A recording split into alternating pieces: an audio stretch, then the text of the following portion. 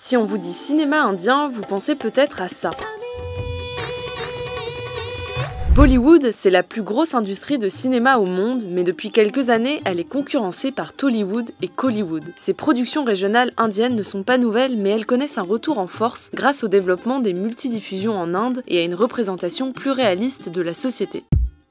Comme pour Bollywood, Tollywood et Collywood sont la contraction du suffixe Hollywood auquel on ajoute un ancrage linguistique et géographique. Bollywood vient de Bombay et produit des films en hindi, Tollywood fait référence au Telugu, une des langues parlées dans le sud du pays et dans laquelle les films sont produits. Collywood vient de Kodambakam, une banlieue de la ville de Madras, dans le sud-est, et produit des films en tamoul. L'Inde, c'est un État fédéral qui est découpé hein, par toutes ces langues, toutes ces cultures, toutes ces manières de raconter des histoires, et le cinéma finalement ne va pas faire exception. Chaque industrie a sa spécificité. Par exemple, les tournages se font plus à l'extérieur à Collywood qu'à Bollywood. Beaucoup des héros de Collywood sont des héros issus du peuple alors du coup on va le voir dans la rue, on va le voir près des gens, alors que le monde de Bollywood c'est un monde fantasmagorique dans lequel des grandes familles euh, richissimes vivent des aventures extraordinaires et donc du coup tout ça s'est tourné en studio. Ces productions ne sont pas nouvelles, elles ont toujours existé en parallèle de la production de Bollywood dès les années 1920. En fait, on parle de plus en plus de ces industries régionales grâce au carton d'un film produit par Tollywood. Le blockbuster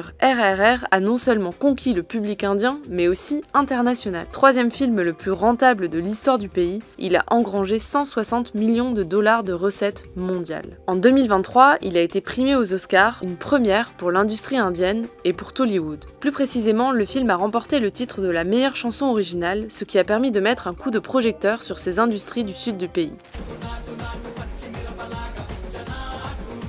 C'est un film qui va remettre au goût du jour une envie, un rêve que les premiers réalisateurs euh, du cinéma indien avaient, c'est-à-dire de créer un cinéma pan-indien, un cinéma qui va pouvoir parler à toute l'Inde, un cinéma qui va fédérer. On y trouve tous les codes du cinéma indien, les cascades, les chansons, les références à la mythologie, mais il puise son originalité ailleurs. C'est un film qui revisite l'histoire coloniale, c'est un film où le héros va botter les fesses du colon britannique, donc forcément c'est fédérateur. Certains critiques soulignent que RRR a aussi été porté sur les écrans dans un contexte politique de plus en plus enfermé par le nationalisme hindou. D'autres films de ces productions régionales ont connu des succès internationaux dans les années 1990 et jusqu'à aujourd'hui. C'est le cas de Moutou, qui raconte l'histoire d'un serviteur d'une famille royale qui tombe amoureux de la femme de son maître. Et euh, l'exemple de Moutou, c'est un exemple que j'aime beaucoup parce que c'est le moment où Rajinikanth va devenir une superstar au Japon à la fin des années 90. Et depuis, le cinéma Hollywood a toujours des fans et s'exporte toujours euh, au Japon. Et il y a une autre raison qui explique le succès de ces films du Sud. Depuis quelques années, l'industrie de Bollywood tourne au ralenti. Plusieurs films n'ont pas eu le succès attendu à cause du Covid et le public s'est lassé de la vision stéréotypée et déconnectée de la société dépeinte dans la plupart de ces films. À tel point que certains parlaient même de la fin de Bollywood Hollywood.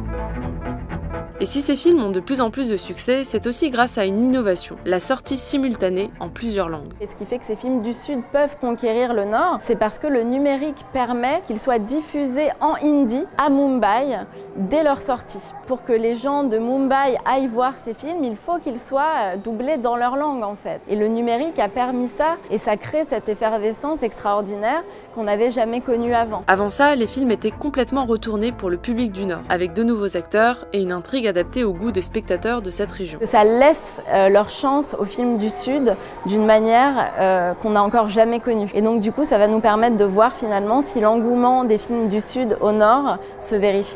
Car l'industrie de Bollywood est loin d'avoir dit son dernier mot. Jawan et Patan, deux films produits par la superstar Shahrukh Khan, ont explosé les compteurs. Le deuxième a fait un million d'entrées en moins de 24 heures en Inde. On est dans une euh, période extrêmement intéressante où on va essayer de voir qui va faire le prochain euh, blockbuster, qui va euh, réussir à briser euh, les records toujours plus extraordinaires que les films arrivent à atteindre.